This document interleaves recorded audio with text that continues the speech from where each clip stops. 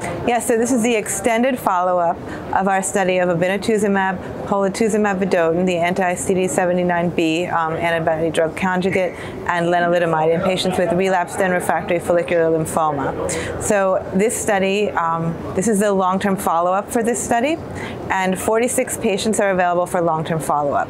The eligibility population, we've already published uh, the initial data from this study, so just to reiterate, the, this was a heavily pretreated population with 88% of patients with grade 3 or 4 disease.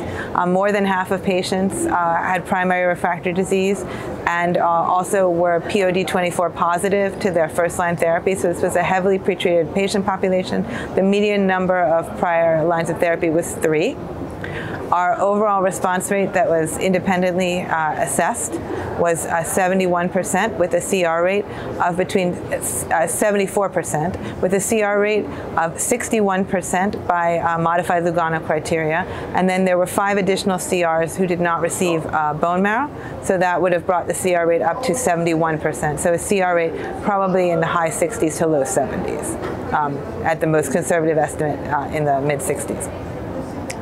What this abstract really uh, demonstrates is that there are no new safety signals, so all of the toxicity related to this therapy was uh, very common toxicities that were associated with the three drugs, and there were no unusual or additive toxicities. For patients who had clinical benefit, who had a PR um, uh, or better, or stable disease PR or CR, who went on to receive maintenance therapy for up to two years. So obinutuzumab, Q2 months for two years, and lenalidomide for an additional year. There were no new or concerning safety signals. And I think the most exciting thing is that with long-term follow-up, um, our, uh, with a median follow-up now of 3.6 years, our median progression-free survival has not been reached.